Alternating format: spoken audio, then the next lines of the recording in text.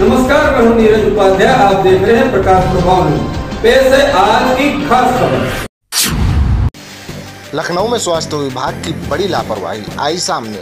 मरीज़ को चार घंटे से बैठा रखा है बाहर। कोरोना वार्ड में एडमिट होने के एक घंटे बाद वार्ड से किया गया बाहर। वार्ड से ट्रामा भेजने के नाम पर मरीज़ को किया गया बाहर। कई घंटे से मरीज़ को एंबुलेंस में छोड़ा गया। एंबुलेंस का ड्राइवर मरीज़ को छोड़कर फरार। लोगों की ज़िंदगी से ड्रामा में हो रहा खिलवाड़।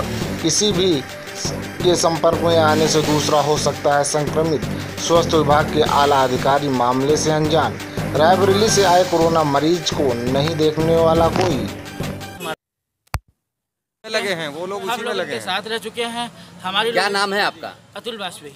अतुल जी किसको लाए हैं? क्या आप कितनी देर से लाए कहाँ से बहनोई हैं इनका रायबरेली में इलाज चल रहा था। कल इनकी कोरोना की रिपोर्ट वहाँ पॉजिटिव आई।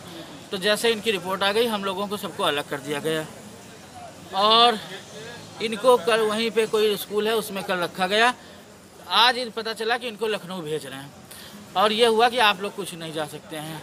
हम लोग रुक गए कि अपनी अपनी जाँच करा लेंगे क्योंकि दो एक दिन साथ में रहते इनके। यहाँ ये आए हैं जब एक बजे करीब तो इनको यहाँ कोई नेफ्रोलॉजी वार्ड है उसके बाहर भी कोई कोविड का कुछ बना है तो उसमें रूम नंबर दस में इनको घंटे डेढ़ घंटे रखा गया। उसके बाद इनको उससे कहा गया कोविड वार्ड चलो। और ये आ गए और कोविड वार्ड में से, से इनको निकाल दिया गया। इनसे कहा गया तुम्हारे पास सीएमओ लखनऊ का लेटर नहीं है। और आप बाहर जाइए जो भी कुछ कीजिए तो ये अब कब से यहाँ बैठा ले? ये ये कम से कम चार घंटा पाँच घंटा हो रहा भैया दो घंटे बाद तो हम लोग वहाँ से जब ये बताए हैं तो हम हम लोग रायबरेली से किस तरह चले हैं? तो अभी तक क्या बता रहे हैं? क्या इनके पास क्या बेड नहीं है या क्यों कुछ नहीं कर रहे ये हैं? सब कोई बात करने मैं तैयार है अधिकारी? जा पाया अभी अभी मैं बस आके खड़ा हुआ हूँ। ये देखिए अब ये इनको बताए बाहर जाओ। अब आप लोग दिखवाइए कुछ इसी तरह बैठे हुए हैं यहाँ पर। हाँ इनका क्या है? अब इनके जो फ़ाइल आई थी वो इनके पास नहीं है इनकी एंबुलेंस में नहीं है वो गायब है। इनके पास सिर्फ़ एक पेपर बचा है।